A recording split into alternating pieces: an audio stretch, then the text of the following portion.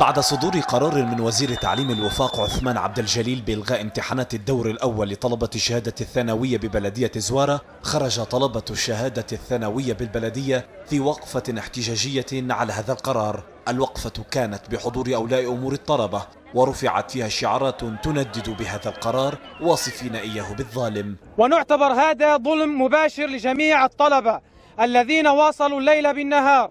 من أجل تحقيق أحلامهم المتمثلة في مواصلة مشوارهم الأكاديمي من بعد التعليم الثانوي.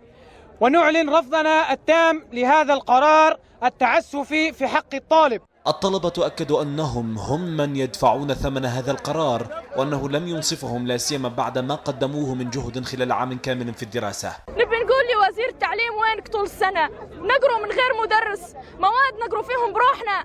نتعب بروحنا. المنهج كملناه في الحياش بروحنا. نتمنى يا سيادة وزير التعليم أنت تاخذ قرار تاخذه بضميرك وتاخذه بتفكير وتاخذ ما تظلمش حد. مش تجي طلبة زوارة لأن جابوا نسبة كبيرة. ما تجيش يعني طلبة زوارة لأن قروا يتساءل بعض أولياء أمور الطلبة هل هذا القرار درس جيدا قبل صدوره؟